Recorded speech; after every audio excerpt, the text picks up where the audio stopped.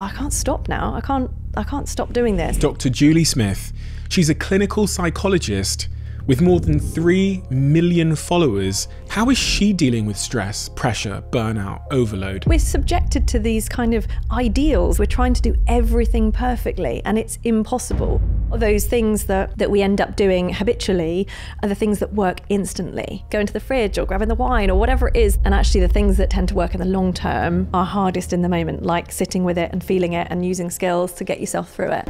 I just love that therapy. It's great for looking at the patterns and the cycles that people tend to feel stuck in in their relationship. And it's incredible how life changing that can be for people. Without further ado, I'm Steven Bartlett, and this is the Diary of a CEO. I hope nobody's listening, but if you are, then please keep this to yourself. Could you do me a quick favor if you're listening to this? Please hit the follow or subscribe button. It helps more than you know, and we invite subscribers in every month to watch the show in person. Dr. Julie Smith I had some time to read as much as I could about your story. And with a lot, a lot of my guests, there's often tons of backstory online about their personal lives, their upbringing, their childhood. That didn't seem to be the case with you. And I think one of the things that, from getting further and further down the road with your story, I thought was really wonderful was typically when people are successful and they, they reach the levels of success that you have in their disciplines, um, we we tend to want to point to some kind of anomalous childhood where something traumatic or um, really significant happened that shaped them and made them obsessive or overly dedicated or passionate. Was that the case for you? What was your childhood like? Tell me. Uh, yeah, so uh, no, there are, there's no um, sort of major trauma that that triggered my kind of mission to do any of this, or even you know I had. a few questions recently about you know why I was even interested in psychology and and actually I've always been fascinated by people by humans and and I read a lot as a child but actually everything I read was about normal people in normal life situations and sort of development of how people become who they who they are and um, that's always fascinated me and and actually I I started studying psychology because I found it really interesting. You know, it just um, there was there was a new A level available at my school, my college, and so I thought, well, that sounds okay. That sounds great. Let's try it. And I was just fascinated by it, and so I kind of went with that and went to university because everybody else was going, and it seemed like that was what you do now. And um, so psychology felt like you know an interesting thing to do. I had no idea really what jobs could be at the end of it. I just kept following my interests all the way along, and and actually when people ask me advice about you know careers and finding your passion and all those things, that's the only advice I give people really is you know uh, follow your interest, do the thing that that excites you or that inspires you. And you don't have to have this you know epiphany moment that transforms your life and makes you passionate about doing what it is you're doing. Um, if you follow your interests you're much more likely to end up somewhere um, in, in a job that that you love. Having done this podcast for quite some time now it's almost a bit of a psychological i don't know um, it's it's almost a bit of a psychological journey with each guest, but it's also, sometimes it also feels like therapy. And I'm I'm starting to learn more and more about humans generally. The more and more of them that I get to speak to, especially because I'm, I'm I tend to be speaking to people that are considered to be anomalies. In your experience, having understood the nature of the human mind and how we think and how trauma and all of these things and mood and decision making are all intertwined together. What have you learned just more broadly and generally about the nature of human beings and how and how we come to be the way that we are? I know that's a big question, but it's one of the ones that I, I, I actually I'll tell you what I've learned, okay, because then maybe that will give you a bit of an indication as to what I'm what I'm referring to here. One of the things I thought before I started doing this podcast and speaking to people a lot was I thought we were all just so fundamentally different, and I thought that um, my job would be to find out all the ways that all these successful people are different. But I think over time I've actually learned the opposite. That fundamentally humans are quite predictable in terms of how if you poke it like this, typically a like X, Y, or Z will happen. Yeah, I think there is a sense of predictability, isn't there? And and and certainly you, you, would go with that in terms of the sort of work that I do and working in therapy. There are certain patterns that that can be predicted, and that's where you know your models of therapy develop because you can predict that if certain things are happening, then it might develop into this pattern. And but actually, while there is predictability, people will always surprise you as well. So, you know, even as I work uh, with people one to one in therapy, no two people are ever the same. And and you can never assume anything um, because you know everybody has that unique story and the new unique set of experiences that they've been through and their unique set of coping strategies and how they'll then get through that. So um, i think predictability to a degree but never assume anything because people yeah people will surprise you. And how did uh, a clinical therapist like yourself, uh, you know what question I'm going to ask you, find their way onto TikTok. You've got millions and millions and millions of followers on there.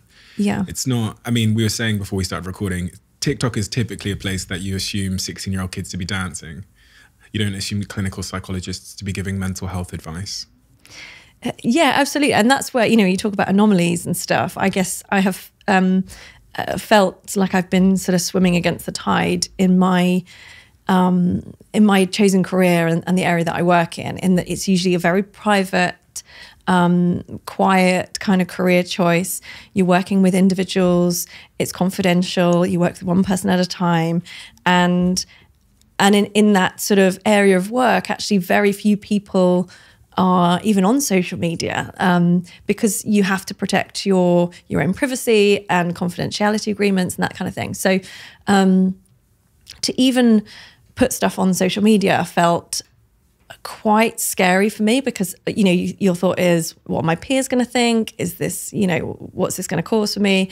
But every time that i had someone else come in for therapy who found the educational aspect of it so helpful i would i would go home and and say to my husband why do people have to pay to come see people like me to find out that bit of information about how their mind works so that they can deal with their anxiety better or so that they can um, you know function in their relationship better. You know there's some there's a set of kind of knowledge there and skills that are taught to people in therapy but they're not therapy skills they're life skills and people can use them every day. I use them every day to help me get through everything life throws at me. And and i just felt that it was unfair that that knowledge should be kept and hidden away in the therapy room so, um, you know, my husband being the person he is said, well, go on then, do it, you know, make it available and put something on YouTube or something like that. And so we did. We kind of half heartedly made a really rubbish YouTube video. And, um, and then at that same time, he discovered TikTok. So he found the app, someone recommended it to him. He found it. It was full of kind of fun dancing, loads of really cool comedy. And we were sort of scrolling through it, laughing, instantly just, you know, falling down that rabbit hole of scrolling. And uh, and he said, well, you know, go on, uh, make something like for 60 seconds, see what information you can get into it. And I said, well, no, you can't, you can't cut it down to that, you know, small amount of time. It'll be impossible.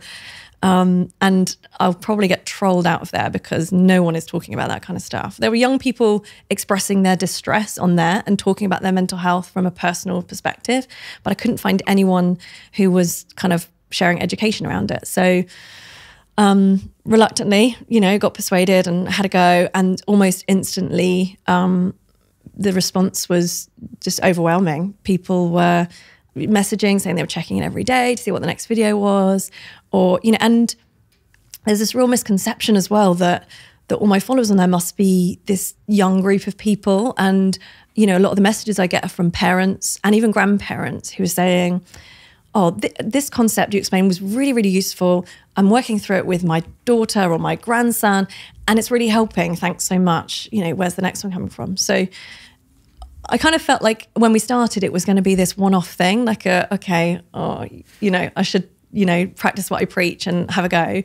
And I assumed that we would kind of delete the delete the account, pretend it never happened. Um, two years later, here we are, kind of three and a half million of us later.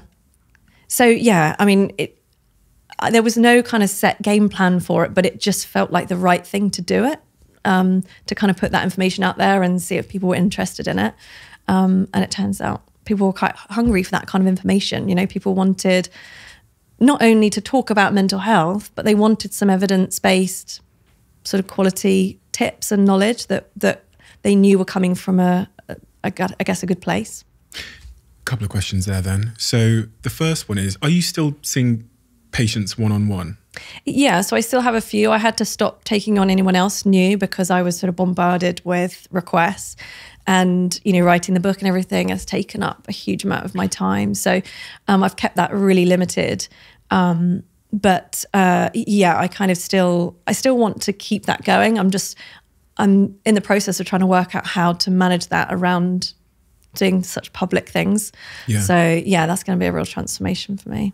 Because that's one of the things I've I've always sort of contended with when people have asked me if I do like one-on-one coaching and stuff. My my kind of default mindset is well, if I spend an hour, I'd rather make a video that I think can reach millions of people than sit with one person on their own. Yeah. So I was wondering what your relationship was with that one-on-one stuff. Yeah. I mean, valuable. in some ways, I do miss some of the one-to-one stuff that I do or did do, and and so that's why I've kind of held on to some of it. Um, because you just cannot be being one on one with someone in a room and developing that depth of relationship with someone where that therapy room becomes their sanctuary and you know that's an incredible privilege that kind of work and i love it. But there is that. There is that sense of okay i could sit in this room and you know work with one person at a time or i could make a video and share this idea with potentially a couple of million people which you know has become a real passion and that I I recognize that it just didn't interest me the numbers and the you know kind of business side of it just didn't really figure for me it was genuinely just the feedback the messages and the emails you know I was going through them and and thought was I can't stop now I can't I can't stop doing this. So people are checking in every day to see what the next video is, or or asking for specific topics because they're genuinely struggling with something. Um, if I can help in some small way, then I really should. So, in terms of that feedback that you're getting from social media, I've come to learn that it's not all great. As in, I'm not saying the feedback isn't all great, but the general like stress and pressure and expectation and constant constant feedback can be detrimental in many ways as well. Talk to me about your relationship with having millions and millions of people that can message you at any time, letting you know whatever they're thinking and how you process that. Yeah, do you know it's been really tough for me actually because I I'm naturally a very uh, people following probably wouldn't believe this. I bounce around in my videos like anything, but um, I'm actually very introverted, shy person. You know, my ideal day is kind of at home alone with a book, probably. And so, you know, it, the idea of of being public and and being seen by people was not a comfortable one. It's something that I kind of endured for the cause, if you see what I mean, for the idea of oh, this could help someone who's in need. Um, so that's something I've had to work through and and do a lot of kind of practicing what I preach, you know, being uncomfortable for the sake of something that I value or that I believe in.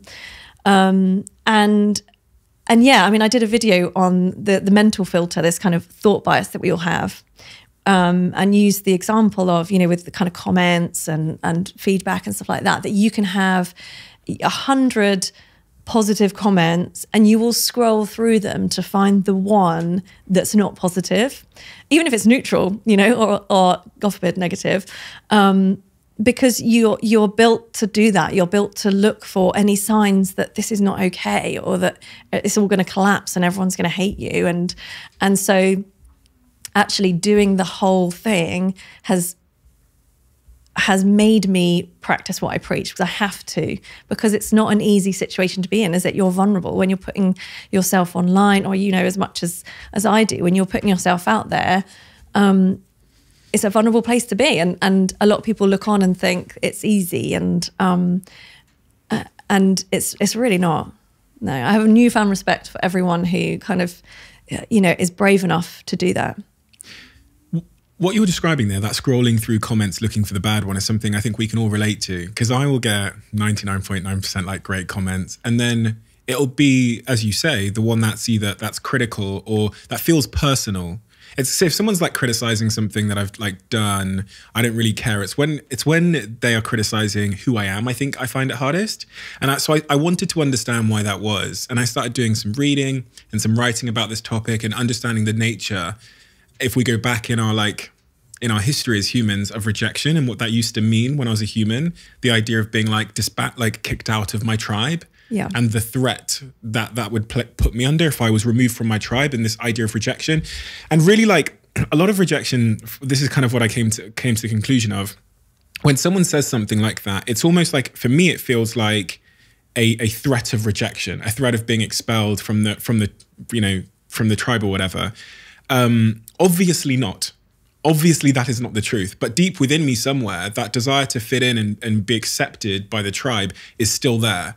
So, having millions of people being able to give me feedback, and some of them seemingly rejecting me from the tribe or saying that I don't fit or they whatever, is difficult. Is that like that's a, a lot of words? But is, does that make any sense? Yeah, because the feeling comes before the rational thought about Yes. it. So you know your your body has that reaction before you're able to consider that you know this isn't your um, your only community or this isn't your family or people that are sort of you're dependent on and that kind of thing. So I think the feeling will always be there, and it's always difficult, isn't it? But then you can override that with what comes next. So it's all it's not about never having that feeling.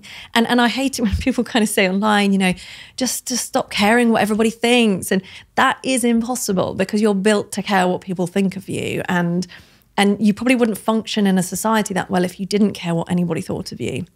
It's about how you then manage it. So when those thoughts come along um, about you know a negative comment, it's what do you do next with what comes up.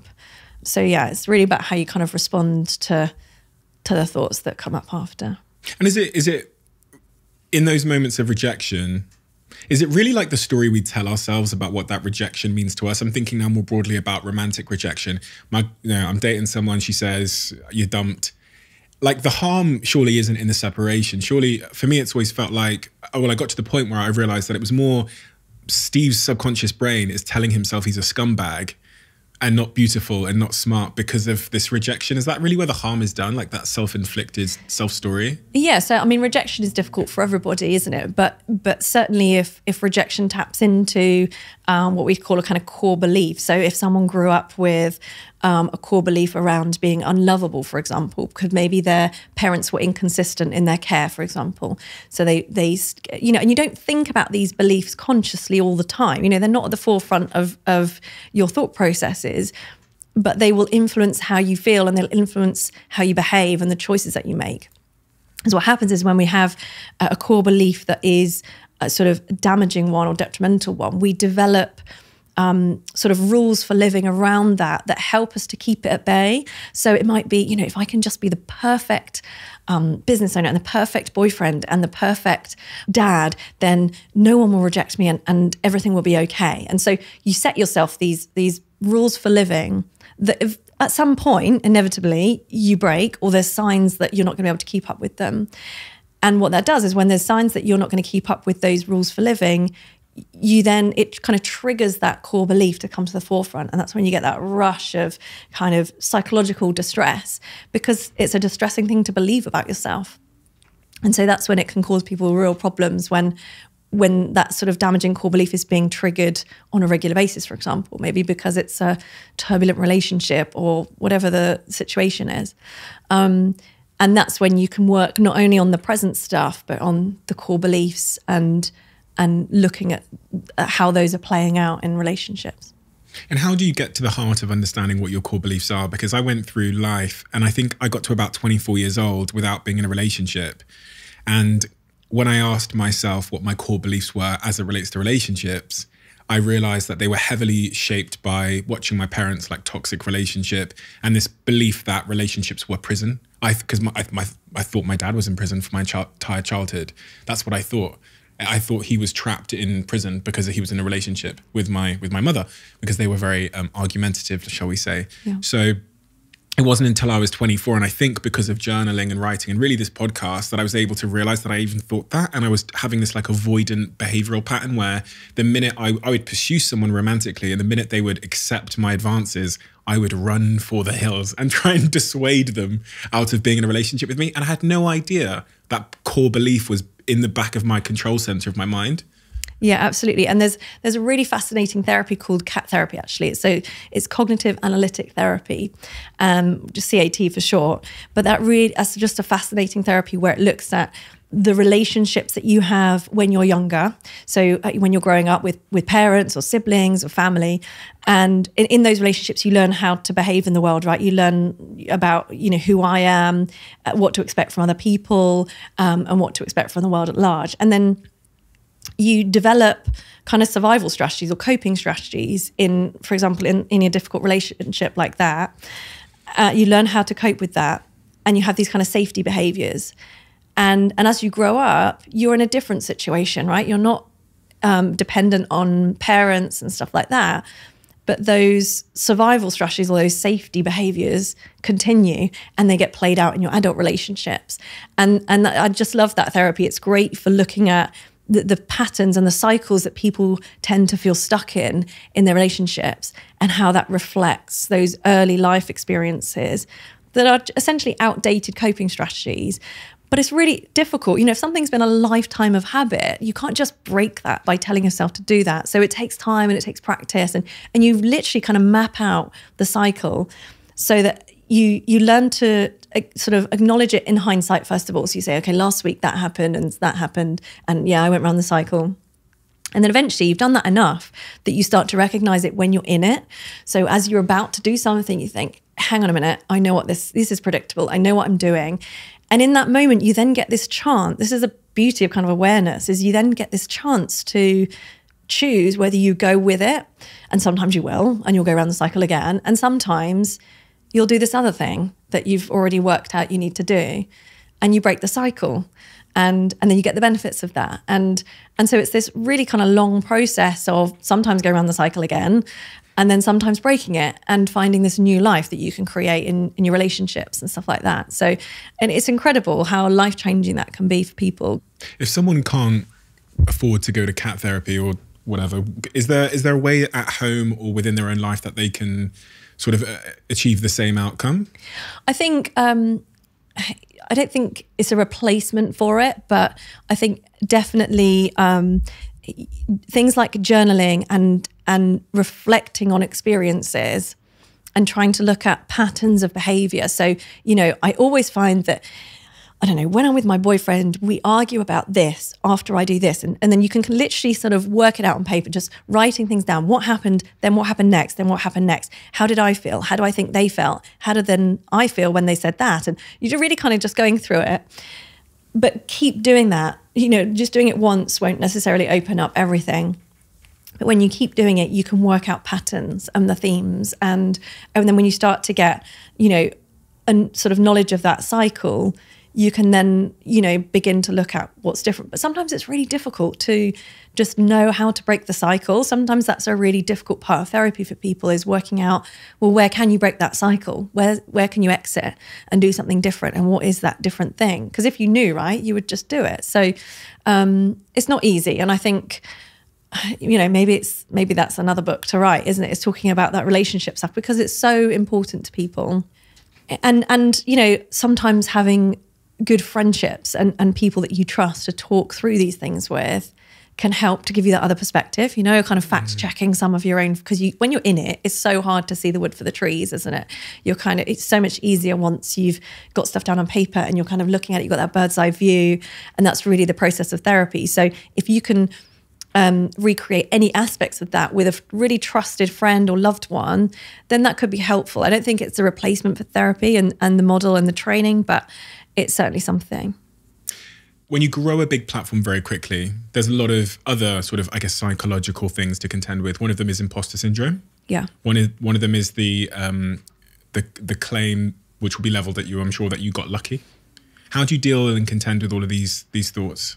Um, I'd say lucky's pretty hard work, isn't it? You probably know that. um, yeah, and and you know, there's an element of that. I think you know there was probably a timing thing for me in that um, you know this huge pandemic started and lots of people were at home tapping into um, new social media platforms they hadn't before. Um, I think it's been uncomfortable all the way along.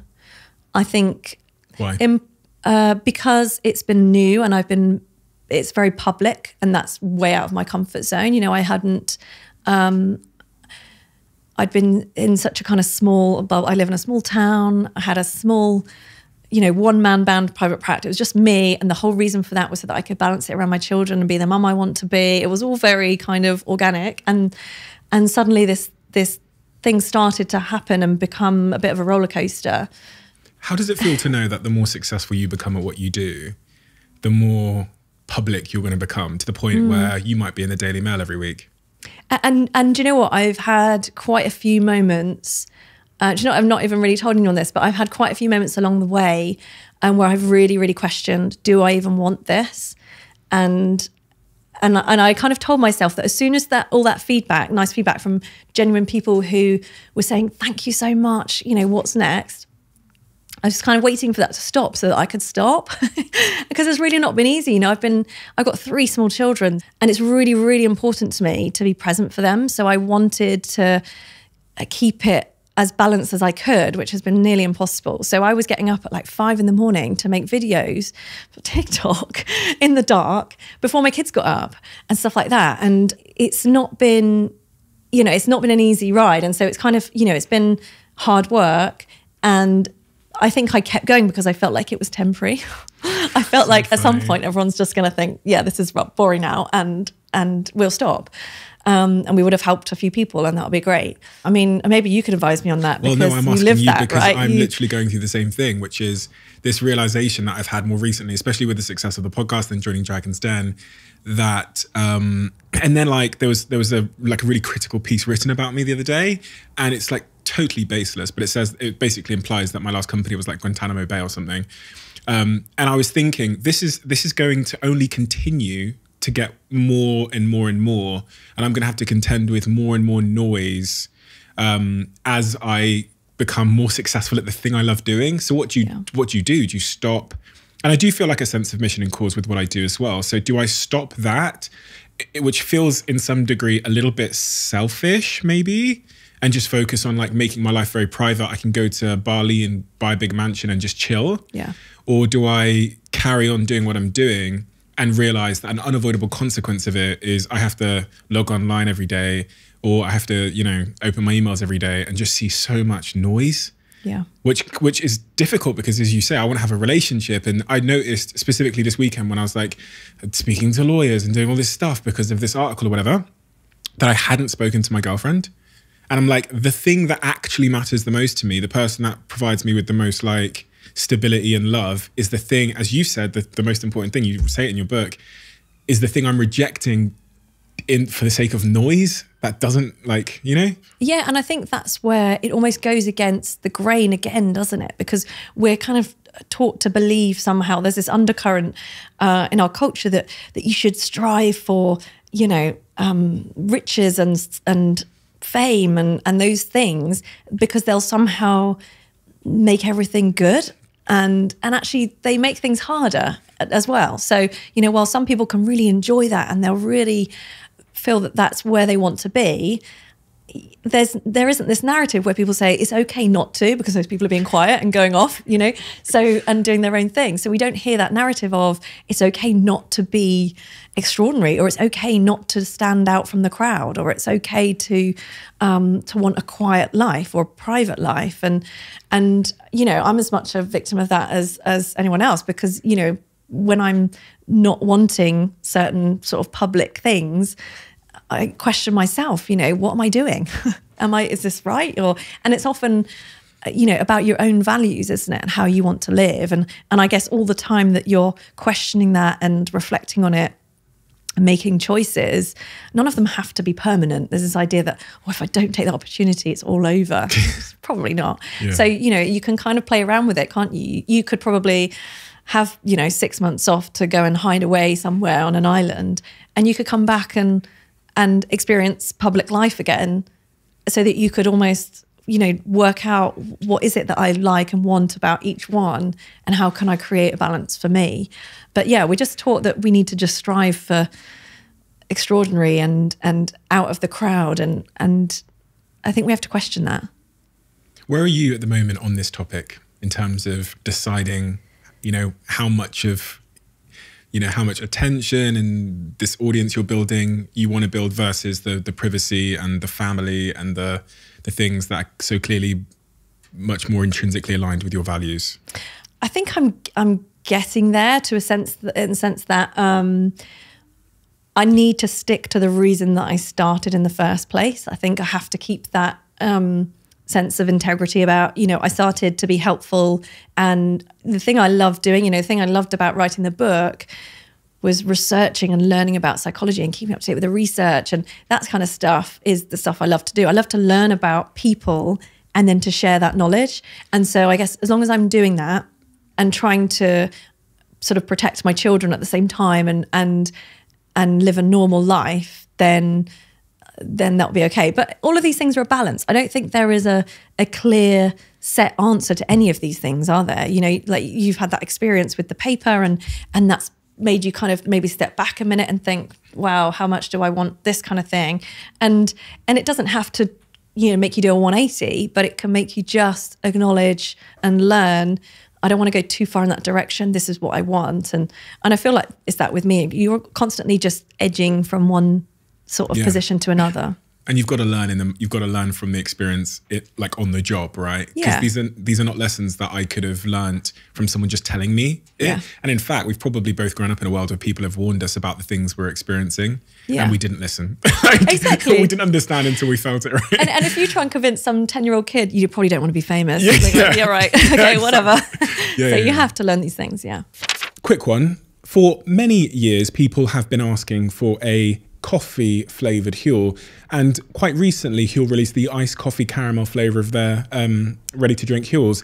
And I've just become hooked on it over the last couple of weeks. I've been on a really interesting journey with Huel, which I've described and talked about a little bit on this podcast. I started with the berry ready to drinks, then I moved over to the protein salted caramel because it's 100 calories and it gives you all of your essential vitamins and minerals, but also gives you the 20 odd grams of protein you need.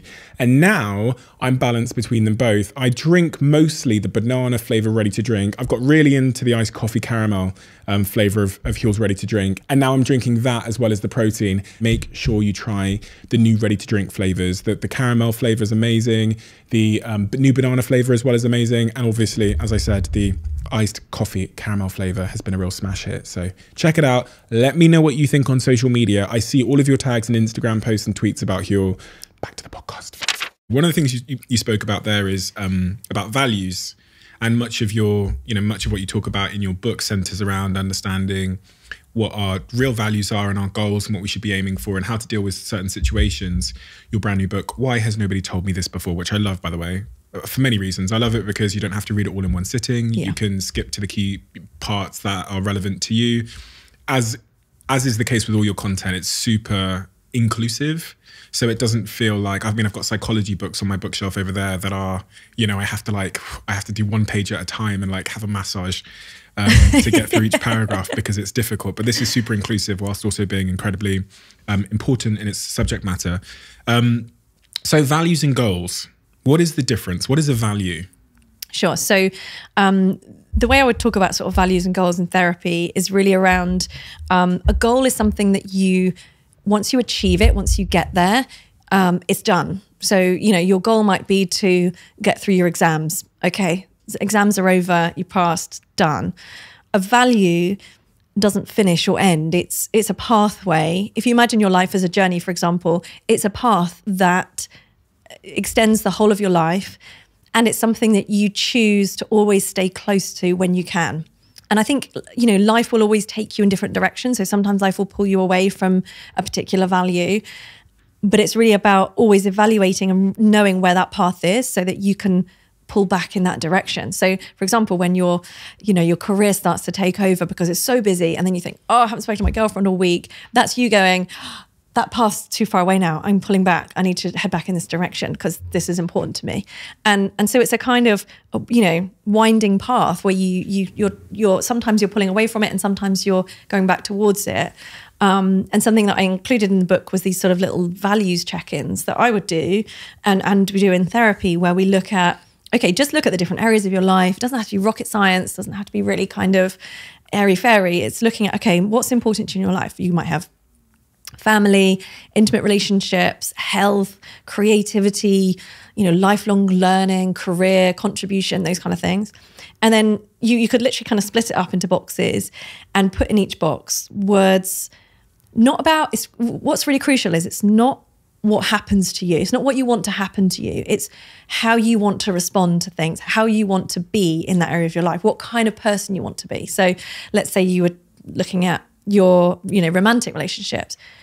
What kind of boyfriend do I actually want to be? You know, what what kind of partner do I want to be? What do I want to represent to that person? And how do I want to um, come at difficulties? How do I want to sort of respond to problems that we face and and you know that kind of thing. So it's all looking at the attitude that you bring to, to that situation in your life or that area of your life. And you might come up with words that that then kind of resonate or, you know, maybe I don't know, in maybe in your work life, maybe enthusiasm is a word that you just hold close to you, and that becomes one of your values. And so um, you, you, can then, and sort of exercise that's in the book is you can almost rate, okay, how important is it to me to be enthusiastic in my work? Maybe it's 10 out of 10. That's really, really important to me. And on that same scale, then how much do I feel like I'm living in line with that this week or today? Uh, two out of 10. I'm pretty tired. Can't even bother today. This job's really boring today or whatever. And that, so when you, what you've done there is you looked, you've opened up a discrepancy between, okay, this is really important to you, but you're not living in line with it. Why? What's going on? Not, not in a way that you can then be really self-critical, but as a tool to say, um, yeah, my girlfriend's really important to me, but I haven't seen her for four weeks why? What's stopping me from jumping on a plane right now? Okay, let's do that. And then, you know, when you start to do those things and and you're coming back towards your value, the the sort of rating for how much you're living in line with it would go up. And so doing that kind of exercise is really just a long long-winded way of saying you can look at what's important to you. You can just do a really quick measure up of how much am I living in line with it and what areas of my life do I need to pay attention to because I'm not living in line with it. So it can be kind of quite simple and a fairly quick exercise, really. I um I was actually watching a video last night, and uh, there was a guy on YouTube. I don't know how I managed mm. to stumble across it. The video had like 2,000 views. This is not anybody anybody would know. But I, he was sat in his car, and I found it really fascinating because I don't know whether I should say this or not. But um, I found it fascinating because he exhibited certain like narcissistic delusions of grandeur in talking about what he wanted to become and what he wanted from his life. And um, it got me thinking that it's quite difficult to understand whether something you say or write down or aiming for is a value or if it's just based on like an inherent deep childhood born insecurity because if you'd asked me at 18 what my values were i would have said a million pounds a lamborghini like i would have i would have uh, yeah. uh, defaulted to these things because those were the things that would have like i don't know scratched my like insecurities, right? Yeah. But as I've as I attain those things and, and had more chance to reflect on what actually makes me feel good and fulfilled and complete, I would have said family, connection, you know, yeah. health. Two yeah. very different things, right? Yeah. One is cause based, one is just an insecurity. So how do we know the difference?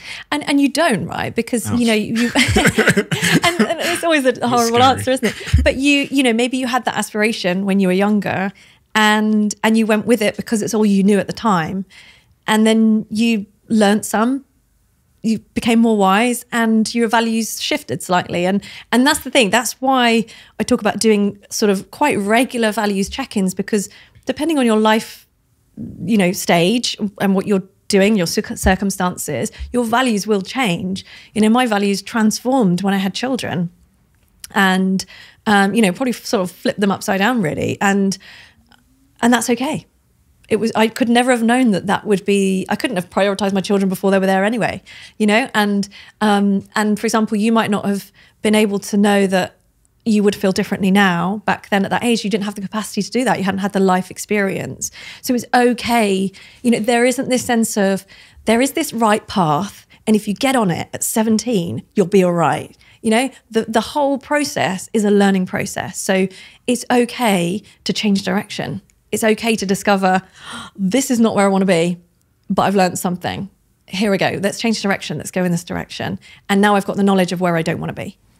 Speaking of changing direction, then, a lot of what's written about how we change direction is you've got to make this like big grand decision in your life. And then today you've got to go in that direction as if it was like a 90 degree turn. And this can be quite terrifying for a lot of people because it's not easy to do. You talk about this in the book, you talk about habits and things like that and how we make change in our life. What have you learned in your, you know, your experience as a clinical psychologist about how people do actually make meaningful change in direction in their life? Um, I think something I've learned is that big, meaningful change is not made uh, drastically and quickly. You know, sustainable change is made carefully, and there's this process of it's not just action, there is a lot of kind of reflection and then there's a bit of action. Then there's a bit more reflection of like we tried that. How was it? You know do we need to change direction? You know we keep moving. So it's a kind of bit by bit by bit but we greatly underestimate how powerful and sustainable that can be when we do it bit by bit and and you know develop habits for example and constantly reevaluate and check in on which direction we want to go in um, so i think something that i've learned um, and certainly actually in my NHS work, for example, this, the type of work that I was doing, um, it took time. You know, if someone's really poorly and and there's a lot to work through, that takes a long time, and that's okay. That's kind of how we work. It takes time to heal and things like that. So, um, I think I learned to sort of acknowledge that not everything has to be done yesterday. Um, you you also talk a lot about in your book about how we can turn bad days into not so bad days, I guess. Um, and this relationship, which I find really fascinating, between the decisions we make, our mood, and our our like actions and behavior, and how they're all like fundamentally linked. And I was I was thinking, um, I, remember when I was writing my book, having a particular moment where I was in like a bad, I was in like not a good mood, and I was trying to understand what how to kind of hijack that to get back to a good mood? Do I go for a run? Do I just focus on my actions? Do I have to think my way out of my bad mood?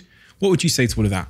I think thinking your way out of a bad mood is is difficult and and often takes quite a bit of practice around using specific skills and stuff like that. Um, sometimes the quickest way to impact on your mind is through your body. So things like exercise, music, um, using your voice, like singing and stuff like that. Things like that can can create quite big shifts in the moment, but also human connection. So, for example, you know, when you if you've been um, you know, kind of pent up and tense, and then, or you felt unsafe, and then someone hugs you and you burst into tears, and it's that kind of shift of uh, of emotion.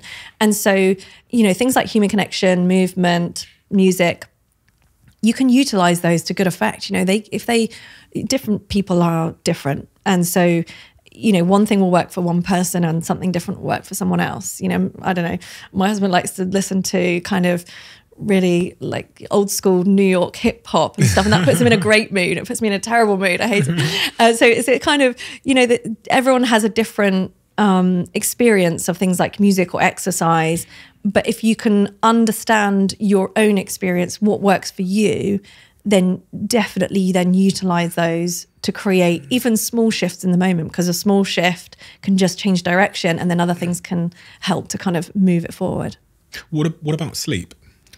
How important is sleep in, in terms of our mood and mindset? Oh, so important, so important. And you know that that's kind of a battle I've been going on because because you know with this kind of work and the demands of of, of you know creating content um, alongside having three small children, it's it hasn't been unusual for me to kind of be up in the night with with children and then be getting up at five to make videos before I take them to school and like you know just it's not sustainable that kind of lifestyle and, and but I notice if I've not had enough sleep um, for you know a few days it will impact on how I feel and it'll impact on my performance and how effective I am at work and what I'm doing.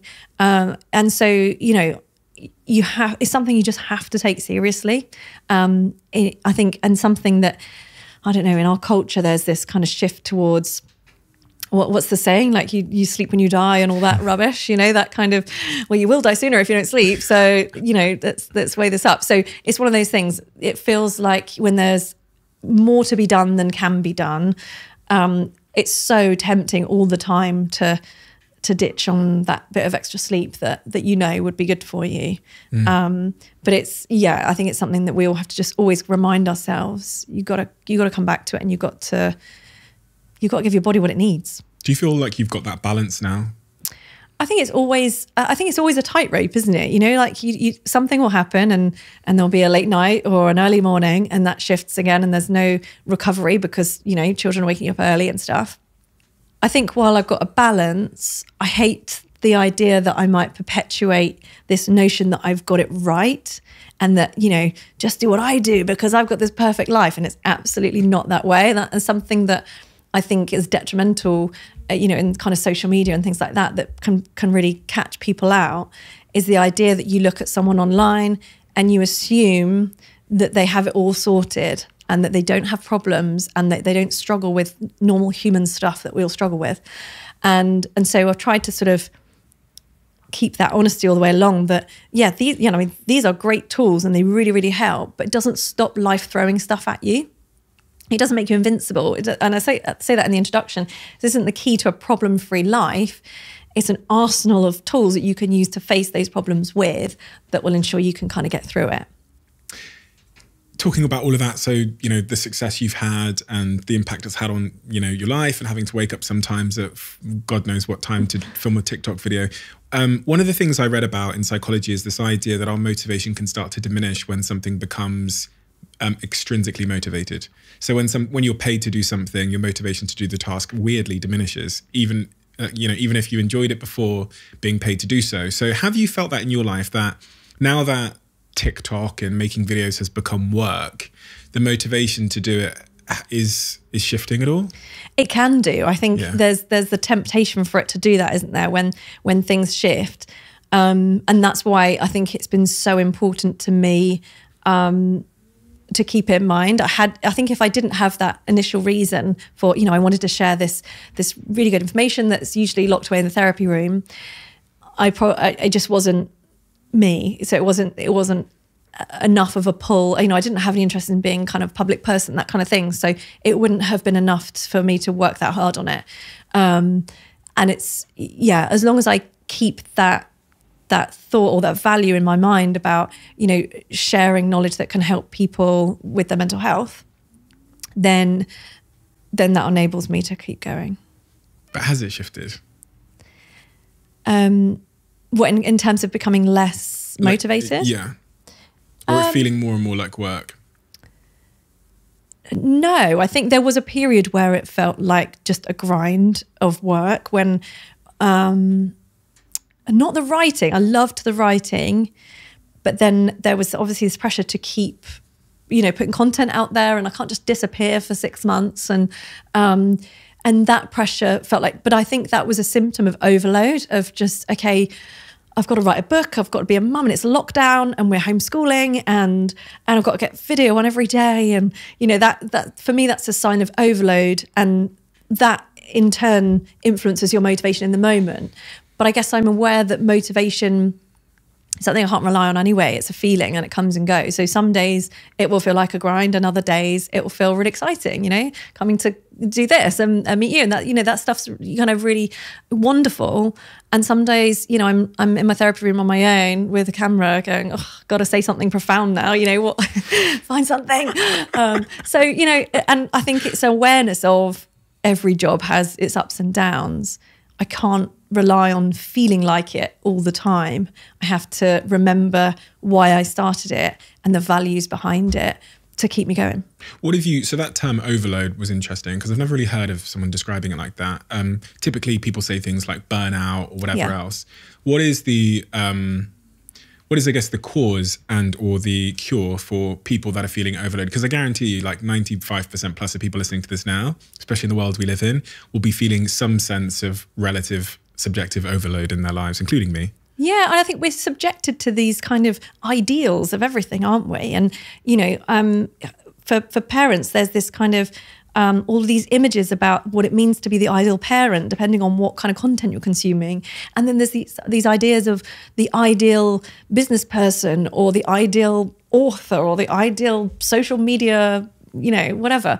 And and because we're subjected to so many of them, we we then just overextended. We're trying to do everything perfectly and it's impossible. And then we feel terrible and we feel like we're failing or we're at fault rather than um, the culture that says, you can be anything you want to be. You know, actually, it's okay to decide this is what I want my life to look like, and that's okay. You know, it's just it's okay for it to be like that, and and for people to have goals that are smaller than others. You know, it's um, I think it's it probably leads to a much more psychologically healthy outcome. I, I kind of bring that that back to a point that I mentioned earlier, and I'm probably just asking this for my own interest, but you're theoretically you're you're heading in the direction of maybe having 20 30 40 million followers. Yeah i don't know. Um, and then the I demands on your time are going to be people are going to be offering you your own tv show and they're going to be asking you to write seven books on a seven year on a seven book deal and everyone's going to want you on loose women and itv's good morning you know all of these it's going to be constant so how do you how are you going to navigate all of that? Um, probably call you and say, Steven, what am I going to do? Advise me. Um, I don't. I honestly don't know. And and because um, that is the um, direction of travel you're going in, right? You're producing more and more content, which is going to grow your audience even more. Your book's a smash hit, four times number one Sunday Times bestseller. You're going in that direction. Yeah, and and I guess, um, in all honesty, my barometer is always my family, so my children, and I will only ever do um, as much as I can do while I'm being the mum I want to be.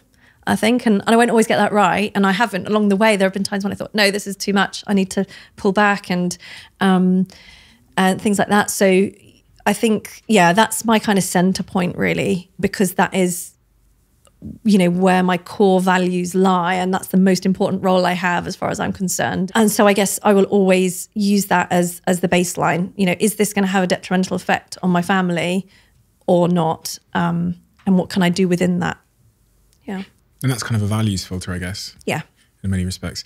The, these feelings we have, these emotions we have, I've, I've always contended with, um, and I think society has a role to play in telling us how to manage our, the emotions we feel when we go through life. You know, on one hand, you have this sentiment where it's like kind of just shrug it off, ignore it, keep going, which doesn't seem to be possible with like deep emotions. It actually seems to be that you're just compartmentalizing it in the back room and it's going to erode your brain from subconsciously. And the other one is that, you know, the other narrative we hear is to when you feel strong emotions to really like embrace them and to like but that feels like it can be a bit too consuming that i might not get out of bed in the morning if i really sit and wallow in my emotions. So what is the balance of embracing emotions or kind of shrugging them off and ignoring them? Yeah and it, actually it's quite sort of complex work when um, when you look at sort of what happens in the therapy room. Um, you know there are people who when they experience emotion it's quite unsafe for them because the coping strategies that they've had throughout life have been unsafe or dangerous ones.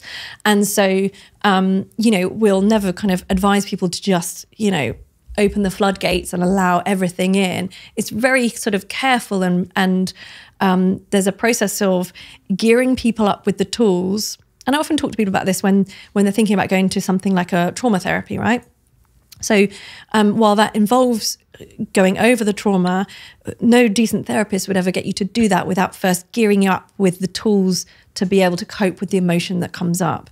So um, for anyone who feels like they, for example, kind of shut down emotionally and, and sort of block it out, you want to open up gradually to things and, and open up gradually to emotions that feel maybe less dangerous or less um, sort of overwhelming in small ways in supported ways as well, so that you you know you can manage it and, and it's not going to completely um, be overbearing. So, but I guess on a kind of day to day level, lots of people don't even recognize that they're blocking. They just recognize um, that whenever they've done something at work that's embarrassing and they feel awful, they just go home and crack open the fridge and they're just looking for anything. Or maybe it's go on Netflix for like six hours and, and block out the world or gaming or whatever it is. And and so often it's hidden in the behavior. People will say, Yeah, I'm fine with emotion. And but I smoke 50 a day. And you know, it's a kind of, you know, what that's so true. What's the function of this and that and the other? And and it's always about looking at it with curiosity, not judgment, but curiosity. Why am I doing that? What's the function of that what's it doing for me and and often it'll be some level of safety around something that's uncomfortable but it's really key that there's no judgment there because it's something that we all do. It's it's mm. human, and and that's because our brains are so brilliant at taking over for us and doing something very quickly that we need to make things better. To make us comfortable, to make, feel comfortable in Yeah. some Yeah. way, even if it's some Yeah. Destructive medication or something. Um, On that, you know, on that point of we have a behavioral response to some stress or emotion we're feeling and maybe not confronting. I think I did that a lot. When people used to ask me how I dealt with running this big global business, 700 employees around the world, when times got really tough. I mean, on the worst days where there was no money in the bank and payday was today, those kind of days. Um, I used to, I used to, I think I used to say on interviews and stuff that I used to come up with all this nonsense about how I dealt with it and how I coped with it. But in hindsight, one of the things I came to learn was the only times I ever got sick or my skin ever got bad were on like two days after that, those really high stress moments. So on the surface, I was kind of shrugging it off and playing it cool.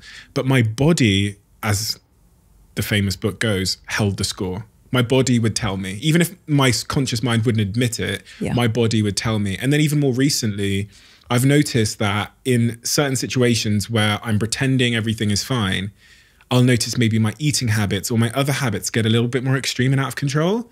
And I and I always thought I was invincible. I always thought I was some tough guy, and I think people followed me. Well, I hope not, but I think they kind of they saw me as that, as being this kind of like you know, uh, mentally perfect, you know, resilient character. But even I've noticed that in my behavior. And it's been so interesting to just pay attention to it. It's sometimes difficult because, especially if you do en- engage in these kind of coping mechanisms, shall we say, a lot, you might find them harder to notice. But for me, I don't. So when I see any shift in my behavior, like I, I remember going through a pattern where I was just I was eating crap again, and I thought, why am I doing? This? Oh shit, yeah, because of that thing you've not addressed. That's playing on your mind every time you wake up. Yeah. And then my skin tells me straight away. I get some like breakout on my skin. Um, men are the worst at this. I mean, so they say. They're the worst at talking about how they feel because of the stigmas and stuff. Yeah, certainly. I mean, about 75% of my followers are female. But saying that, of the of the male followers that I have, they're among some of the most engaged and ask questions and um, you know come up with new topics and and respond really positively in comments and things and and so I think there is a shift in the right direction and I think I think social media has had a lot to do with that actually. It's enabled people to start having a conversation that they wouldn't dream of having face to face with people. Um, and certainly I recognized that in when I was just working in my private practice, I I wanted to do it around the family, so I, I couldn't do it all. So I kind of left the NHS and I, I thought I'll just work in like school hours and I'll manage it around that kind of thing. So um, I thought I would have to advertise and and I never did. And that's because well, therapy is a really private thing when you're really struggling. When it works and you get better, and then you're doing fine, and it finishes, and you go off about your life, and then you come across someone who's struggling, and they go, "That really helped me. Try that." And so, actually, all of my work was based on word of mouth, and and I think that's happening more and more. That people once they struggle, work out a way to get through it, then believe in the in the tools that they learnt, whatever they were, they're willing to share that and and because they don't want to see other people go through the same thing. And I think that's a bit of the shift of that stigma. Um, that that people are going, oh yeah, I went through that or hmm. something similar. Go and try that. It really helps. And if people are sad at home and there's something that they know they haven't addressed that's playing on their mind that they're thinking about a lot often and trying to just kind of compartmentalize and not what would you say to those people like because you know they, they might be seeing the the behavioral symptoms of not addressing that thing what would you how do we how do we get it out of the back room and uh, prevent it from causing us behavioral self-harm Well, I guess you know some people will go to to therapy because they'll have access to that. Others won't even consider it or have access to it for whatever reason. Um, and I think whatever the situation, human contact and human connection is is everything. If you can find someone that you trust to talk to, and even let's say worst case scenario, you don't have anyone you can trust to talk to, or you feel so awful about this particular situation that you can't bear to talk to anyone, write it down. Just use words, use art, whatever it is, try and get to grips with what what could possibly be going on here. Start reflecting on experiences, not with judgment, but just looking at what's happening, what happens here, what happens before that, what what leads up to it. That's a lot of what happens in therapy. Actually, is you know people come in with a feeling, oh, I felt this awful thing, and then and then we'll look at okay, what led up to that. Let's go back a week and let's work to it, and and you know what made you vulnerable to that, and then equally what came after. What did you do? Did it make things worse? Did it help? A lot of those things that that we end up doing habitually are the things that work instantly. And they're addictive because they work instantly right? It's going to the fridge or grabbing the wine or whatever it is that, that they're addictive because they give us instant relief but in the long term they keep us stuck. So they're the things that then get us in that cycle of the next time you have that feeling you feel even more need for that that safety behavior or that blocking behavior because it worked so quickly last time. And and actually the things that tend to work in the long term are hardest in the moment, like sitting with it and feeling it and using skills to get yourself through it. So it's not an easy ride. Mm. Depressed you now. Okay. I was expecting the 30 second uh, hack, to, the 30 second secret. That's what this title is going to be of this video. It's going to be the 30 second secret to get yourself out of any bad situation, and everyone will click it and they'll realize that there's a lot of nuance. Um, another thing that I get asked all the time, and I'm sure you get asked about all the time, and something you wrote about in chapter 19 of your book is this topic of confidence. It seems to be at the very heart and core of um, a lot of issues we do we we have in our lives, the lack of confidence. Yeah. Um, but also it seems to be the cause of a lot of good things that happen to us if we have confidence. So, uh, quite people always ask me when I do Q and A's and stuff. They say, "How do you build confidence?" And there was this really lovely quote in your book that. Um, I really, really resonated with that said, confidence cannot grow if we are never willing to be without it. So when people ask you that question, Dr. Julie Smith, what do you say? How do you build your confidence? Yeah, so I did a video on this recently, actually, where we, I don't know what we were thinking, but we used kind of balloons with a tube that went between the balloons. And it had this idea that um, if, if one of those balloons was confidence and the other one was vulnerability, if you're only ever willing to be with your confidence, so if you're only ever willing to be in the situations where you feel confident, um, then you're it can't grow. It can't it can't sort of grow beyond that. Let's say um, in the pandemic, being at home feel you know you're confident at home you feel comfortable at home but being outside you feel vulnerable and so it's really hard to go to the supermarket and it's really hard to go out to a bar with friends now and if you're not willing to be without that confident feeling that you have when you're at home then your confidence can't grow. It's not going to grow sitting at home. And, and that's where in therapy we talk about, you know, the most important stuff is the stuff you do in between sessions in your real life. Um, and so for anyone, you know, I often say to people, if there's something that that you really want to master, but it makes you nervous, do it as much as you possibly can in, in manageable doses.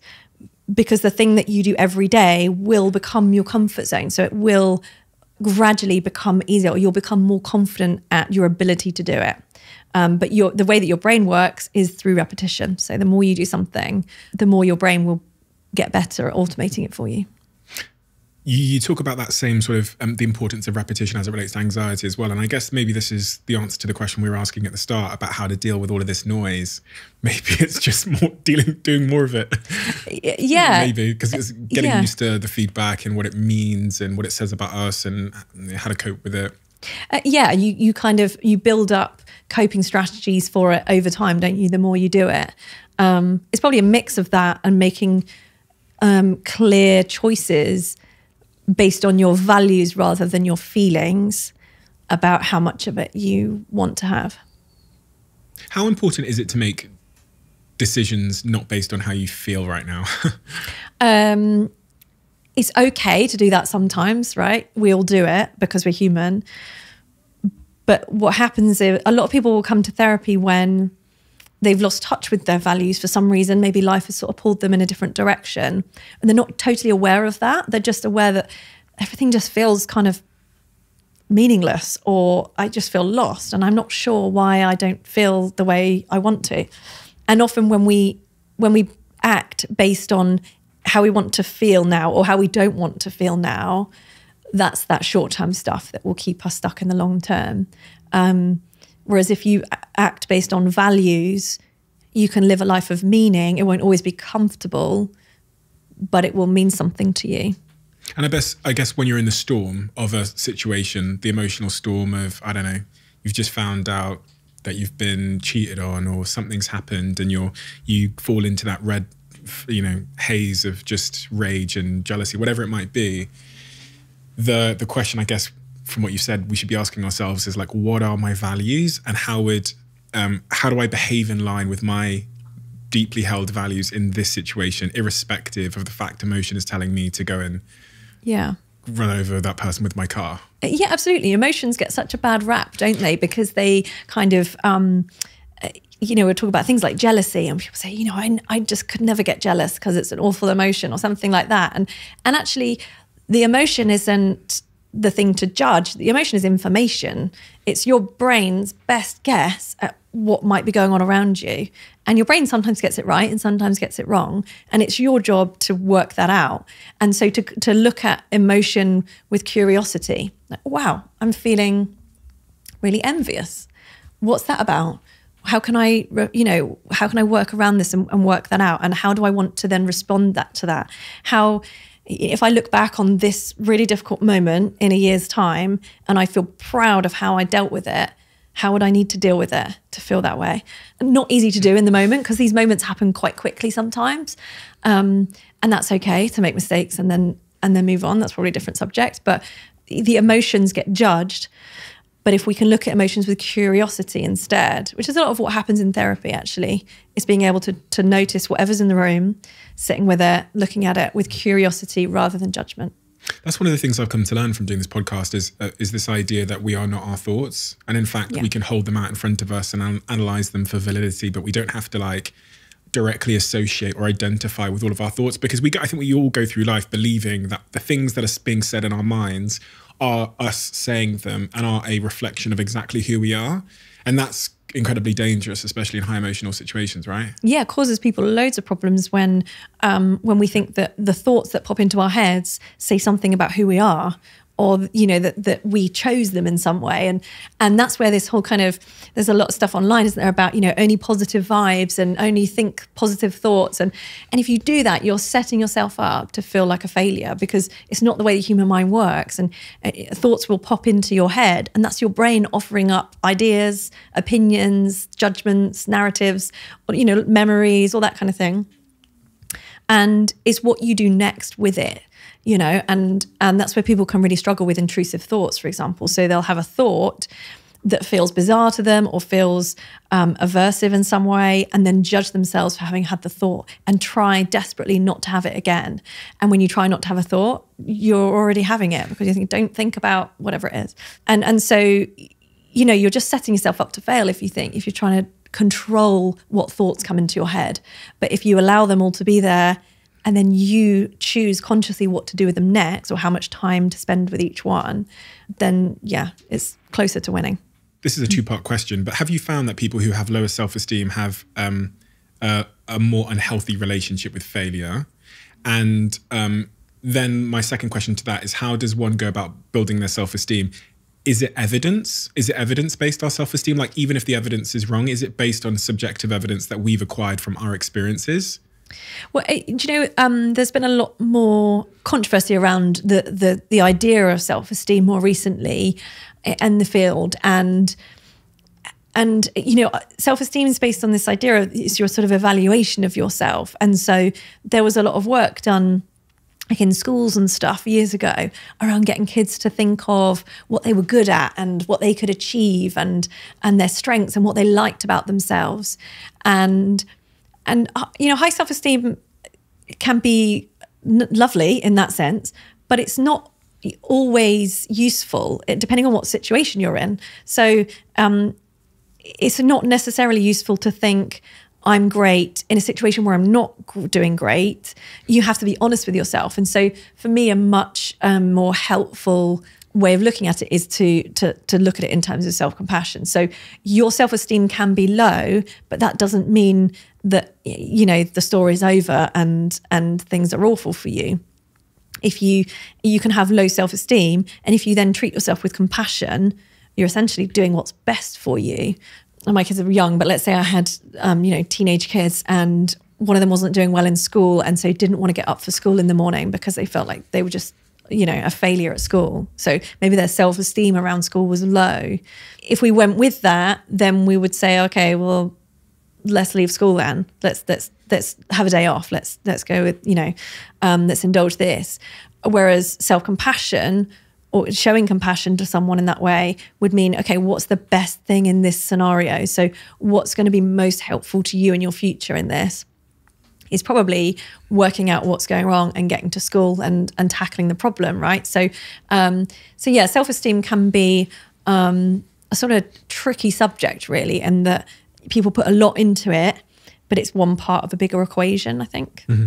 i guess it kind of links back to the point about confidence which is is our self-esteem based on a bunch of evidence we've kind of collected from our experiences about the world so i might have low self-esteem as it relates to going on dates because of some childhood rejections or whatever. And I, I took that as evidence that I am unattractive. And I've held that as part of my self story for the last 15 years, for example. Um, I used to think, as you talk a lot about in your book, that as many people do, and as a lot of like books have kind of promoted, that you could kind of just wake up in the morning and look yourself in the mirror and say, I am a rock star, I'm going to be a millionaire, da da da, you are beautiful, you love yourself. And you could walk out into your day and just be that person. But so clearly, and you'll know this from your you know experience many years of helping people that it just doesn't work and i can say that something to someone they can read my quote on instagram and i just absolutely know it's never going to work because there's some kind of evidence that they've accumulated over their life that is way stronger and opposes nice fluffy words yeah, uh, you yeah. know obviously words provide very little evidence for anything other than a prompt i don't know yeah, absolutely. So your brain works like a scientist with evidence through action. So, you know, if you want to start to feel better about yourself, essentially the best way to do that is through action and doing things that not not kind of flood the system and make you feel really vulnerable, but something that feels a challenge but manageable and then you get this little kind of step up and there's something else that's a challenge and manageable and you get this step up but yeah certainly with you know words are powerful but um, things like affirmations I talk about in the book about how uh, not to completely throw them out, but to be sure about how you're using affirmations. So if someone already feels lovable and they read an affirmation that says I'm lovable, it, it'll probably make them feel quite good for a minute and they can soak that in and, and enjoy that. And it'll be kind of short lived impact. If someone has uh, doesn't believe that, if someone has core beliefs that they're not lovable and they're trying to repeat, I am lovable, um, it can almost be detrimental because it sets up this internal argument where you, your mind also chips in with the reasons that you're not. Mm. And then you start kind of battling it out in terms of like, well, but what about this and what about that and then, and then you end up having you know you're in turmoil so it can have a detrimental effect if if that person is genuinely really struggling with low self-esteem or low confidence and that kind of thing so I think affirmations can be more helpful when they're instructional, when they're about, you know, when this, do this, and it will help you get through this difficult situation. Like, you know, sports people use them and stuff like that and to help them get through high pressure moments. But in terms of turning around core beliefs, probably not so much. On high pressure moments, one thing that I, I did uh, recently, which I thought was very interesting and got opened my eyes to a whole new world, was I did um I did a breathwork session. Okay. Have you ever done breathwork? Uh, not a huge amount of it, but um, it's getting more popular, isn't it? Yeah. Um, and I, I just got really intrigued by this idea that breath can have a really profound impact on mood, how we're feeling, and specifically, as you write about it in your book, anxiety. Yeah. Talk to me about breath and the role it plays and how we can use our breathing to make ourselves feel less anxious. Sure. So it's one of the probably the first things that I will go through with someone because you, you'll get people um, who come along for therapy and in that first, you know, it takes time, right? You you have to get to know each other and they're, they're trying to communicate their story. And then a whole week goes by before you see each other again. And actually people often go to therapy when they're in a really bad place. And so they'll often be saying, is there something I can do in between sessions that's going to help me get through to next week? And so if that person is struggling with really high anxiety, that one thing that I'll, you know, is very quick to teach that they can take away is something like a breathing exercise because it's one of the quickest ways that we can, um, you know, slow the anxiety response. So if you're anxious, your breathing will be fast and shallow. So kind of, Yeah, yeah, and if you do that for long enough, you actually start to feel quite panicky. Yeah, yeah. And um, and that's because you know your your heart and your lungs are connected, so your heart's going to start pounding to get all that oxygen around your body, and and you'll kind of start gearing up into action. So if you can slow your breathing down, you can slow the whole process down. I think I mentioned this in the book. I've certainly done videos on it. Is um, sort of box breathing or square breathing, um, where you just you can if you're out and about and you don't want anyone to really know what you're doing. If you're on a bus or at a meeting, pick something like a door or a window or something. It's kind of box shape, and you start with the kind of bottom left corner. And as you kind of trace your eyes up to the top corner, you're just counting in as you breathe in, and it's maybe like four seconds. And then as you trace your eyes across the top, uh, that will be a pause. So you're just holding a breath for four seconds, and then you come back down with a, an out breath of four seconds, and then hold. And so you're just kind of breathing in for, hold for, out for, hold for. So, and it's just one way of when you're out to give you a visual focus um, that can help you to uh, just monitor. Okay, and now I'm breathing in. Now I'm breathing out. Because when you're really, really panicking, actually breathing slowly can feel really difficult to do. Um, so you can use that kind of visual. But also more recently, some great research has been coming out about how to kind of it's helpful to extend the out breath. So if you can, it doesn't really matter what the numbers are. If you can make that out breath longer and more vigorous than your in breath, then that's going to help calm that response fairly quickly. Why does all of this matter? Because so my girlfriend started talking to me about breath work and she started studying it. And um, so I went along kind of reluctantly, what is this nonsense to this breath work class? And the guy sat me there and started talking to me about the like prehistoric reasons as to why when we're in high stress situations or feeling anxious, our breath changes. And when someone explains it to me in scientific terms, I buy in. And the way he explained it to me from like, you know, if you're on 10,000 years ago and you're on the savannah of Africa and a lion's running towards you, your body prepares you in many ways for that fight or flight response. And the problem is in the stimulated, stressful world we live in, we're kind of like living in fight or flight a lot of the time. And I, and so after hearing that from him and, and practicing a little bit, I've, I've, I've become really, really aware of the fact that when I am stressed, my breath basically, it feels like it's stopped. Like I, it's so shallow. And so now I override it. And it's been such a revelation in my life to try and override, you know, because you almost, you don't see it, you don't know it happens. But for me, I get the alert, which is the feeling of tension in my body and kind of stress. And then I can do something about it. But where does this, you know, was he right? Is that where all this breathing stuff comes from in like meditation? Well, yeah, because you can't, you know, you don't have that kind of anxiety off switch, right? Or Yeah. you can't directly choose to slow your heart rate. But because it's linked to other things that you can influence, you have to use those as avenues in to to sort of slow the whole process down. And and and and that's where, you know, we we really underestimate things like bre- breath work and and slow breathing because they seem too simple. Yeah, yeah. And you know, like we want something complex or you know I want to pay for it. yeah, exactly. And then we can kind of believe in Yeah, it. yeah. And actually, we have the power to do some of these things that make such a difference. And that's really where this whole thing grew out of was, you know, people saying to me in therapy, why on earth has nobody told me this before? This is not rocket science and it's changing everything. And this is brilliant. I want to tell everyone. I want to, you know, and and and actually it's a lot of the messages I get is people saying, I've told my nan, I've told my auntie, I've, and we're all doing it together. Thank you so hmm. much. This is really, you know, but sometimes they are just really simple things that you then don't forget. And you once you've got that tool, you've got it then forever. You know, Yeah. no one can take that from you. That's why I wanted to talk about it a lot, is because it's had a big impact on how I feel in those high stress moments. And I just wish someone had said that to me earlier.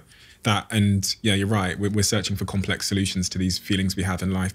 Over the years, from doing this podcast and just general research, it's become becoming more and more apparent that really what I need to do is just to live more like a human being. And in fact, the world I'm living in is doing the opposite of that. It's making me live like some kind of cyborg that doesn't have emotions and everything. I mean, you talk about, I think it's chapter five of your book where you talk about the basics and sleep, nutrition, connection. These are all things that exercise, these are all things that human beings have always done. And in fact, the avoidance of those things in the modern world is causing us all of these like symptoms that we're diagnosing as flaws or you know signs that we are broken and i have a chapter in my book where, which is called just um, the journey back to human as if like at some point we took a wrong turning and we we actually just need to get back to being humans again and I, I felt that in your writing but i imagine How do you feel about all of that? This idea that we've kind of Yeah. abandoned what it is to be human. Yeah, because it feels like a it feels like you have to battle to do normal stuff, that, that, you know, Yeah, to do human to things. Yeah, like- exactly. it's a war. And, and and it's and it is because of I guess the sorts of media that we consume that tell us, you know, you got to do more and be more and have more and earn more and spend more and and and it's sort of this treadmill that keeps speeding up and everyone's going, why am I so worn out? Like what's going on? And then they blame themselves for feeling worn out when actually it's this environment that and all these kind of pressures that sort of make that worse. And so, yeah, I mean, and that's where you know, like when you ask me about kind of you know what's next and and and how do you do you cope with all that, it always has to come back to, uh, you know, we're in privileged positions, right, where it can feel like you don't have choice. You have to just keep going. But actually, the, the thing about privilege is that you then get to choose what's going to be most healthy for me here, what's going to be most meaningful and, and give me the life that I want to have. And, and so that you're basing your decisions on on your own values rather than somebody else's. It's very true, and I think that's maybe one of the real, the thoughts that is quite liberating from the potential stress of the situation, which is it is always a choice, and you have so much. You'd rather you'd probably rather have the choice, Yeah. right? Because else you'd probably still be striving to to get to a position of privilege and choice. Um, Yeah, because there are people that don't have choice, right? And that's Yeah. where something else I talk about in the str- in the book is about how people talk about, oh, just eliminate your stress, and you, yeah, okay, you know, say that to the single mom who works forty hours a week to keep a roof over a kid's head, or you know that that lots of stresses can't be chosen, or you know maybe you're waiting for a, a results from the doctor about some test you had, and and the stress is just hanging over you. You know those sorts of stresses you don't choose those; they're a normal part of life, and there are tools to kind of deal with those. Um, but when there is, you know, there, there will be certain parts of life where we can say yes or no, and that's when we need to exercise that control. I think. death. That was a big Turning point. that was not a transition. but you talk about death in in your book, and it's funny because I sat here with my previous guest, and he talked about um, the importance of accepting your own kind of mortality and the change that can have on you. What is your what is your position on this topic? Do you think it's important to understand that you're going to die, and if so, why? Yeah, and it's something I kind of got, I you know, um, up to my neck in when I was sort of researching for the book and stuff like that, because I included a chapter on grief and and loss and and then I started to um, kind of read more widely about you know dealing with your own impending death and and you know for people who have um, sort of illnesses and things like that when they know their death is coming. And so I just got really kind of into all that stuff. And there's some great work out there by some brilliant people around you know dealing with the idea that it's all going to end and, and the idea that that can be a source of meaning. It is a source of fear right? Everybody has to deal with that fear. Um, but it can also be a source of uh, of meaning in life today. So it can be a reason why you get up and you go with that value of, of enthusiasm today. Or it can be a source of uh, you know, that's why I get up and I practice gratitude, or why I always tell my girlfriend I love her every day, or whatever it is. That it can can also be a way to live well. There's a book called Influence, which, and one of the five principles of influence is this idea of scarcity. It's really a marketing book. It tells you how to make people believe things have more value. And one of the ideas in it is that you make, you convince them that it's scarce, which is why if you go on booking.com, it'll say one hotel room left, 75 people just looked at this hotel, they're about to book it quick. And um, that convinces people that the thing is of more value. And I think for me, death does that. I, I actually have a sand timer over there on that next to that little white head for Yeah. that very reason and i talk about it in my book a lot because i do believe that most of us don't go through life actually believing or realizing that things are finite. And once we do we realize that they're scarce then we will attribute more value to them which means that every moment is so unbelievably more precious and that can help you filter out you know the decisions you're making. There's so much there's so many studies been done when they interview people on their deathbeds and ask them about what really mattered. And i want to get to the point every single day where i'm making my decisions from the lens of deathbed regret per Yeah. if that makes sense i think that will probably keep me more in line with that those values you talk about Yeah, absolutely. And actually, um, it's an exercise that's done in acceptance and commitment therapy, where um, you, you talk to people about um, let's say you know you reach the ripe old age of 104 and you're sat in your armchair and you're looking back on the chapter of your life that is to come what would it need to include for you to be looking back smiling and feeling like yeah did i right there that was that was how i wanted it to go. So not necessarily what you would want to happen to you but again it's how you would want to live and the, the attitude that you would want to face life with. How would you answer that question? Me personally if i can if i can touch people's lives with something that's positive in a world where you can, you know, your life can be touched by so many things that aren't positive, while at the same time still being the parent that I want to be and being present in my children's lives and being a positive impact for them, um, gearing them up for their own adventures, then uh, yeah, they'll be pretty pleased with that. In the book, you say, when it comes to a happy life, relationships beat money, fame, social class, and all the things we're told to put F into. I talked about the neglecting my relationship over the weekend because of some of these things you've described here. um, so, from your from your practice, what have you come to to know about the importance of relationships, whether romantic or platonic? you know, I don't think there is a therapy session I've ever conducted without it coming to relationships at some point. You know, it is the fabric of us, isn't it? It's what we um it's what we kind of live for in many ways and and that's why I included it in the section around meaningful life because um, I mean I I touch on it and it's such a huge subject that you know you could write reams and reams of books on on relationships because they feel so complex sometimes don't they right we just yeah. we're constantly making mistakes and not getting it right and having to sort of you know reevaluate and shift and and no one again it's one of those things no one gives you a manual for it and yet when it's going right life feels incredible and when they're going wrong everything feels like it's falling apart and so you know i think it's uh, it's an area certainly that i want to move into more and more because i see the value of it and i see how it just makes all the difference for so many people. You know, human connection is our sort of inbuilt stress resilience mechanism, if you, if you like. So you, you've only got to, if you're feeling something, if you're feeling high in stress, for example, and you have a good quality human connection or contact with someone, changes the way that your body deals with that stress. I mean, that's that's no crazy. tablet. That's yeah. no nothing. It's it's um, it's how we're built, and it's we're we're supposed to live in groups together and look after each other, and and even in our kind of very individualist society where it makes us value other things and pulls us away, we have to keep reminding ourselves of, of how, what it means to be a human being. I think. Although life doesn't give you a manual for how to navigate a relationship, social media at least sets an expectation of how a relationship should be, specifically a romantic relationship.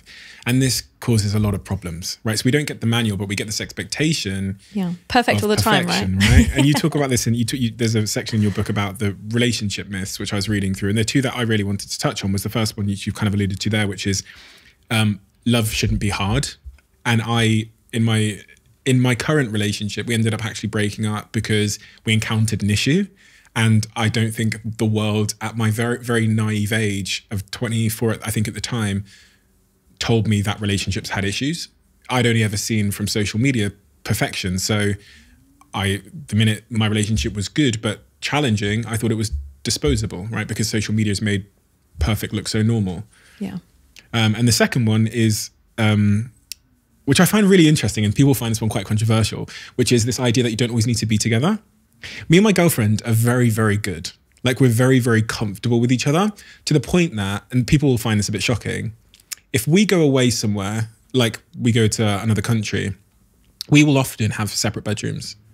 And because she will have her own space where she, she sets up all of her stuff, she likes to meditate and put her crystals out and all of this stuff. And I'll have my own room my own bedroom and then we'll sleep in the same bed but we have our own space and also even if we go on holiday for a month we might I might say to her halfway through the holiday, babe, I'm gonna go in that direction for five days. I'll see you then. I'll see you in five days' time. And we've got to a point where we're really comfortable with that. But I can't think of another relationship I've been in where any of those things would have been greeted with anything but like anger or like, what? You know what I mean? Yeah. And I think sometimes that that response from people comes out of our insecurity about what's right because nobody sort of talks about these things or they haven't historically. And so nobody really knows if, if the way they're having their relationship is the same as anybody else and and are we getting it right or wrong? And and so uh, often there can be these knee jerk reactions from people about oh that oh that doesn't sound good because that's not what I know to be true. And and and you know then it becomes, you know, diversity, it becomes sort of um, difficult for people to handle then, doesn't it? If your experience is different to mine, then am I wrong? Um, and, and people get really kind of upset about that. And this probably is destroying more relationships than we know. This exp- this social fake expectation of how it should be going for you. Whereas, in fact, much of what I read about in your in your book and even this idea of having more words to describe how you feel treating these things in a non-binary way but just like reflecting on how how do I feel? Not has he ticked the box of sending me roses today, but how do I feel?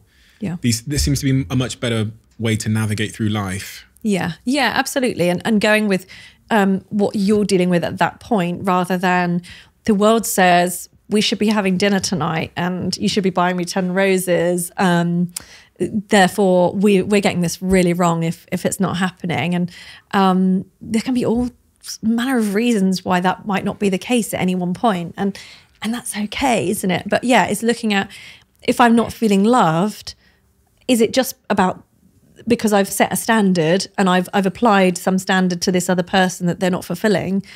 Or um or am i feeling unloved generally? You know is this one is this the sort of last straw type thing that, that there's a build up of resentment because I haven't been expressing my needs? And then Valentine's Day feels like the valid time to do that because everybody else gets roses. You know, it's kind of um, it's a difficult one. And how in your th- in your work, how often do you see that the relationships we have with others are just a reflection of the relationship we have with ourselves? Yeah, I mean, hugely. It can be really difficult when people, for example, when people become um, depressed and and their relationship with themselves becomes very poor. And you know they're talking to themselves in a, a poor way. They believe awful things about themselves. It can become really difficult for them then to uh, sustain or manage their relationships in an in a um, positive way. Um, because they don't feel worthy of that relationship for example. I don't i don't know so much about you know people say don't love anyone else until you love yourself and stuff like that because again, it's this kind of standard, isn't it? Of like, I've got to be so okay with myself before I'm allowed to have a partner. Life doesn't work like that. We all work on it for years, right? And there are times when it's really pushed to the brink and you're tested and or you, you know, your relationship with yourself deteriorates because something's happened. And um, and that's okay to go through that journey and you can go through it with someone else. But yeah, I mean, if you're struggling with you, then then it's likely that you're also going to be struggling in your relationship, which then has a knock on effect to you again. So it's a, a sort of a bit of a cycle. We go through life, you know, especially because you're on this, you know, you're on a you're doing a lot of media at the moment because of your book and you're having to do a lot of interviews.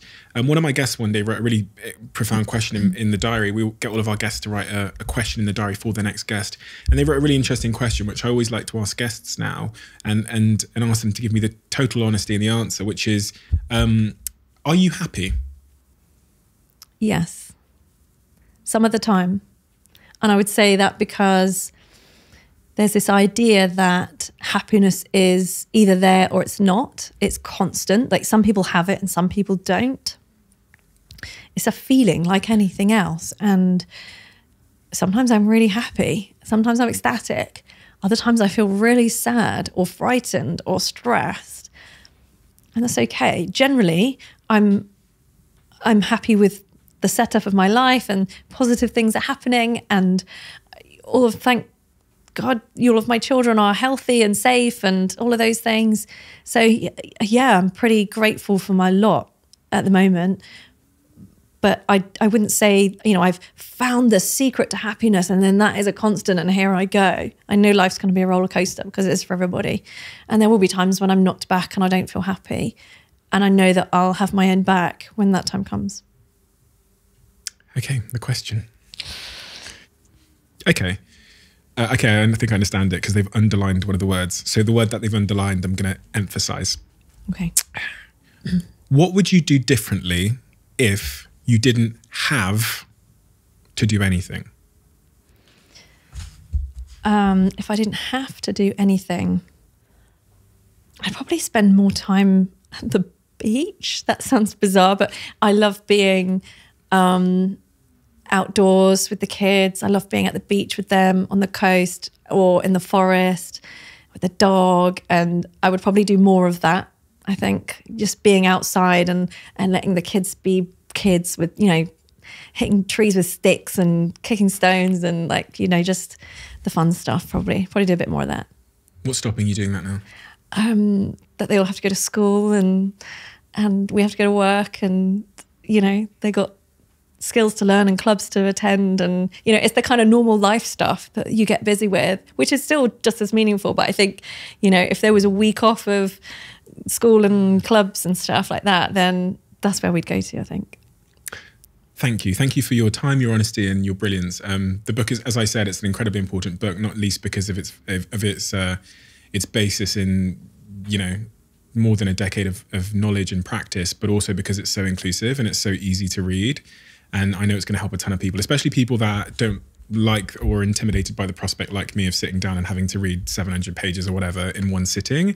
A book that you can nip into and nip out of over time is so um, so holiday worthy and so like travel worthy, which is pretty much where I read all of my books. So thank you for writing such a brilliant book. Thank you for being such a brilliant person. And um, although I know it's it's challenging at times, I would just reiterate the fact that you are helping many, many, many more people than you'll ever get to know or meet. And I think that's um, that's a very important cause that you're serving. So thank you. Thank you so much, and thanks for having me. It's an absolute privilege to to come and talk with you and. I could have a list of my own questions for you, so that's for another day. But thank you. Thank you. Thank you.